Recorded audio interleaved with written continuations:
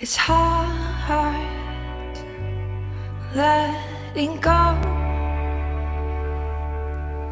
I'm finally at peace, but it feels wrong. Slow, I'm getting up. My hands and feet are weaker than before. And you are folded on the bed where I rest my head. There's nothing I can see.